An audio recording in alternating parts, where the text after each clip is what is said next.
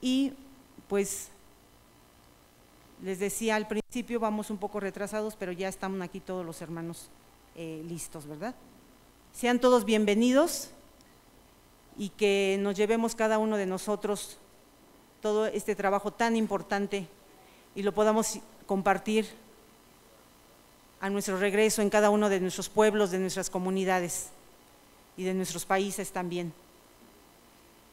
Pues es así como iniciamos, hermanos y hermanas, y vamos a iniciar con el pueblo de Morelos, zona sur, pueblo náhuac, comunidad de Tetelpan, y tienen diez minutos el compañero.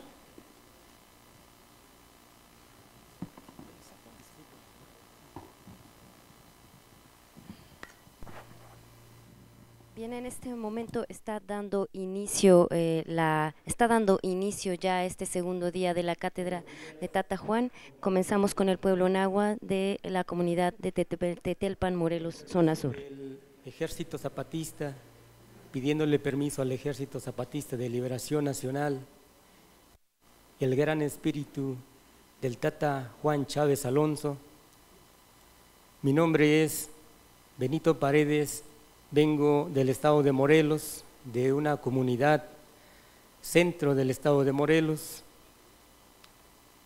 una, una comunidad que colinda con el sur del estado de Morelos y que bueno, queremos hablar sobre esta comunidad de Telpa.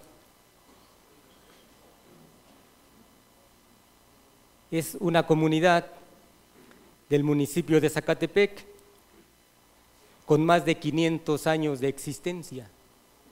Siempre ha sido propietaria de su territorio comunal. Se ubica en el sur del estado de Morelos, cuenta con el Cerro de la Tortuga como un centro ceremonial y en el cual existen diversos vestigios de construcciones ancestrales. Su flora y fauna es propio de la selva baja caducifolia, en especial se cuenta con plantas medicinales como el cuachalalate, la árnica, cuenta con más de 16 danzas tradicionales como los tecuanes, apaches, vaqueros, pastoras, loas poéticas, un simulacro de la toma de la lóndiga de Granaditas, batalla de la independencia, que son parte de su riqueza cultural indígena. Los orígenes del conflicto. En 1928, el gobierno de Plutarco Elías Calles otorga la propiedad comunal del Cerro de la Tortuga ante la solicitud de un grupo de ciudadanos de la comunidad de Tetelpa. La Asamblea Comunitaria acuerda prestar terrenos a algunos habitantes que quisieran sembrarlos. Uno de esos terrenos se destinaba para la fiesta del pueblo. Los documentos de los terrenos prestados pasan por tres generaciones. Abuelos, padres e hijos. Y estos últimos asumen que los terrenos son propiedad familiar. En 2008, la inmobiliaria COBA, Sociedad Anónima DSB, adquiere los terrenos con estos documentos y formaliza trámites para regularizarlos como propiedad privada. La inmobiliaria COBA intenta construir casas en el terreno y en 2008 realiza un sondeo en la comunidad de Tetelpa los habitantes de Tetelpa rechazan la construcción argumentando que no es una necesidad de la población. El grave impacto ambiental que dicha obra ocasionaría y la decisión de cambio de uso de suelo debe de ser consultada en una asamblea comunitaria. La inmobiliaria COBA decide vender los terrenos a la empresa Casas Geo Sociedad Anónima de CB al ver la decisión del pueblo de Tetelpa de no permitir la obra. Y entonces se realizan en este proceso de la lucha la Asamblea de Pueblos de Morelos el día 12 de febrero del 2012. Antecedentes. En 2008, la OAM sugiere que el Cerro de la Tortuga sea decretado como área natural protegida y elabora una primera propuesta de estudio técnico. El ayuntamiento retoma la propuesta y promueve la reforestación del cerro a través de la Regiduría de Ecología. En el periodo de 2009-2011 se realizan los estudios bajo la asesoría de la Comisión Estatal de Agua y Medio Ambiente, SEAMA. La SEAMA manifiesta que se cumplen los requisitos para el decreto y solo falta su publicación en el diario oficial. El presidente municipal de Zacatepec declara que no permitirá la construcción de casas en el Cerro de la Tortuga. Para octubre de 2011, Casas Geo comienza a realizar los trabajos de construcción en el Cerro de la Tortuga. El decreto no se publica en el diario oficial y se llama Guarda Silencio. Habitantes de Tetelpa comienzan a movilizarse. El presidente municipal sostiene que no ha otorgado ningún permiso de construcción de casas en el cerro para la constructora. Pero la constructora inicia el ecocidio, más de 100 árboles en el predio La Matarratera, en el mismo lugar donde se realizó la reforestación. Dentro de la respuesta comunitaria, en octubre y noviembre se realizan marchas y mítines exigiendo al ayuntamiento que detenga la obra. El 28 de noviembre se realiza una asamblea en Tetelpa y se decide la toma del territorio comunal.